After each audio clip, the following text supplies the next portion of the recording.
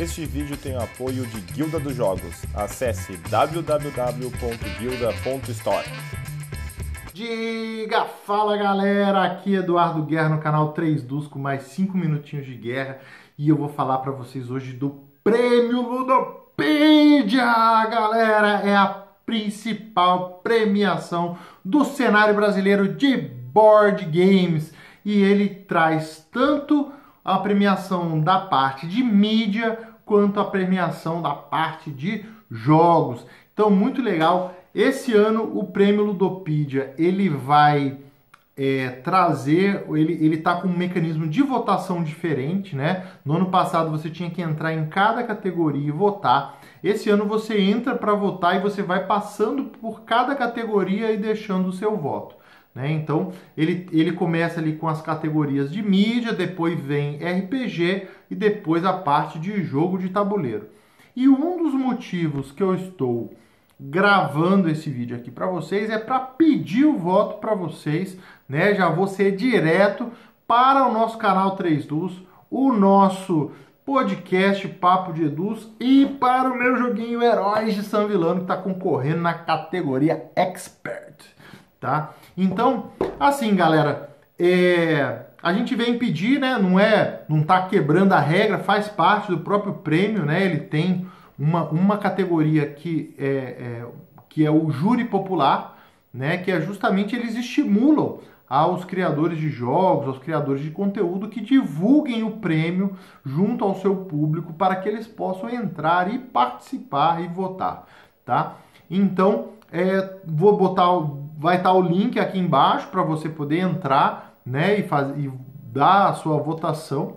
Tá? E se você gosta aqui do conteúdo do 3 Dus, dos 5 minutos de guerra, do Aprenda em Minutos, do mano a mano, né, do, e de todo o conteúdo aí que a gente gera, né, a gente faz aí com todo carinho, o canal tá fazendo dois anos, né, e a gente conseguindo manter aí uma frequência é, semanal de mais ou menos é, é, é três, quatro vídeos, quando assim, na pior semana ali, né, às vezes aquela semaninha de Natal ali, dois vídeos, mas a gente mantém uma frequência para estar tá sempre levando conteúdo bacana nessa área de jogo de tabuleiro para vocês, certo? Então se você curte aí, entra lá, deixa o seu voto, é um reconhecimento muito legal ao nosso trabalho.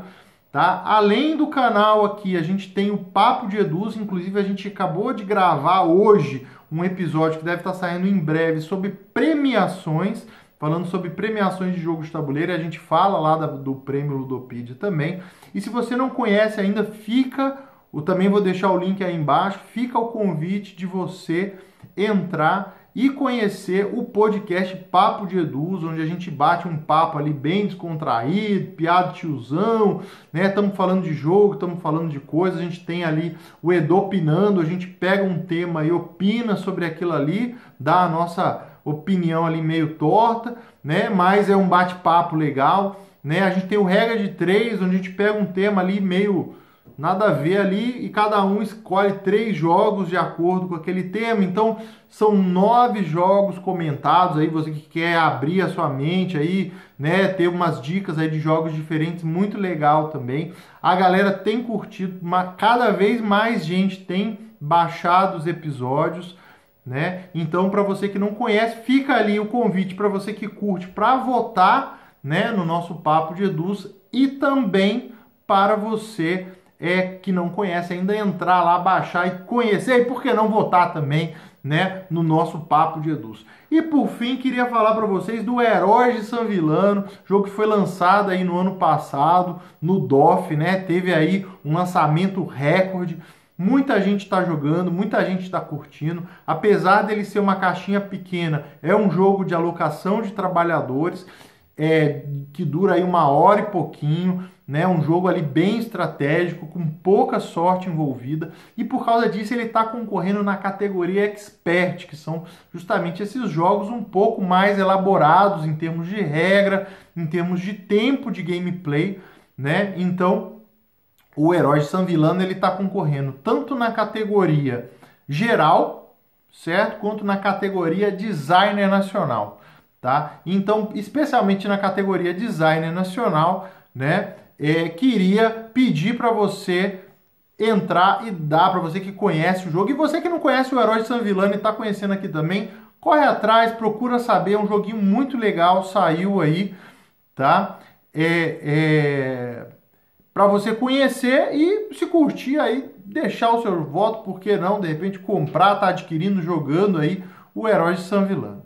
Certo, pessoal? Então, muito obrigado tá? A gente faz o trabalho. Tô inclusive aqui, ó, com a camisa do Capitão Guerra aqui do Herói de San Villano. A galera da Ludopedia fez aí 20 camisetas diferentes com o grupo de heróis.